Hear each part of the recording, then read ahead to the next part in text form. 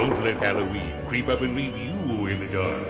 Peep n' Peepers include three spooky pairs of adjustable eyes on a 12-foot UL listed light string. Hang them in trees, bushes, in and around your windows, anywhere you're looking for that special eerie effect. Peep n' Peepers will make any Halloween landscape come alive with a visual treat for those trick-or-treaters. Let these spooky lights light up your spooky nights.